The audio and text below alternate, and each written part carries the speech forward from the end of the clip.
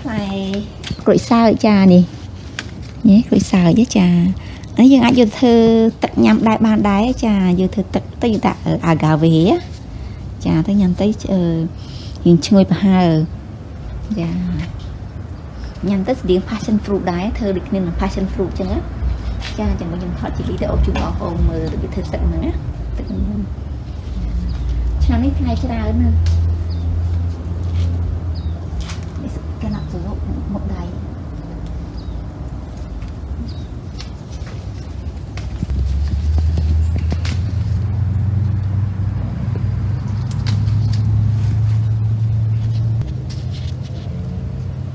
ដាំប្រហែលឆ្នាំបាន10ឆ្នាំជាងហើយ10 6 7ឆ្នាំហើយអូនខាត់មកដៃនេះវានៅជាប់បលាបលាចឹងអត់សូវហ៊ាននេះដៃបានហើយនេះពេញដៃហើយ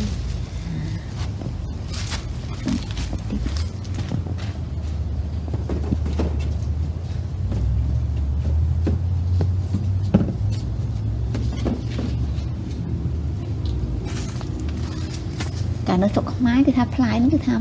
ចូលទិញញ៉ោយកមកកក់ស្អកស្អកតុនណាចាតែពេលដល់ស្រុកអាមេរិកនេះគឺថាមានអាហ្នឹងផ្លែហ្នឹងយើងអាចធ្វើជាទឹកញ៉ាំបានដែរ